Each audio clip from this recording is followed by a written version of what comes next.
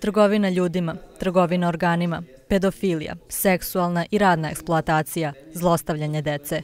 Pojmovi su o kojima sve češće slušamo, ali u svoje svesti prihvatamo da se to uvek dešava nekome drugome i ne ovde. A dešava se tu, oko nas, u komšiluku, u školi, u našem gradu ili u susednom, na internetu ili u realnom svetu, ali podjednako opasno i ukorenjeno.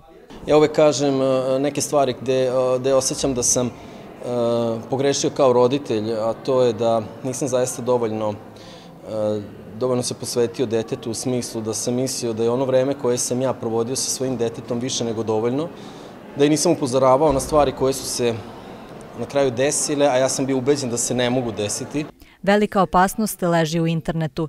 Neretko deca prihvataju poziv za prijateljstvo na društvenim mrežama od nepoznate osobe, dopisuju se sa njima i dele svoje lične podatke. Svesni ovog problema u osnovnoj školi Simeona Ranicki organizovali su tribinu za roditelje pod nazivom Ukradena bezbednost.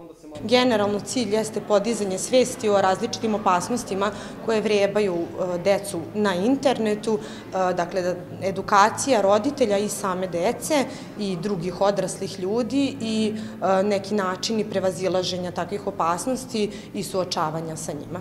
Danas postoji more društvenih mreža na kojima su deca i tineđeri aktivni. Pored prednosti koje one pružaju, predstavljaju i idealnu bazu za sve one koji mogu na brojne načine da zloupotrebe ovu internetsku slobodu.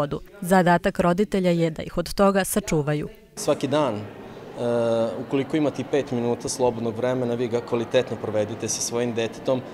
Svaki minut kvalitetno proveden sa svojim detetom je manja E, manji rizik da će se nešto strašno desiti. Tribina ukradena bezbednost fondacije Tijena Jurić za kratko vreme postala je veoma tražena zbog tematike o kojoj se u Srbiji redko govori. A ovoj edukaciji u Staroj Pazovi prisustvovali su predstavnici Doma zdravlja, Centra za socijalni rad, opštine, sveštenstvo i predstavnici drugih institucija.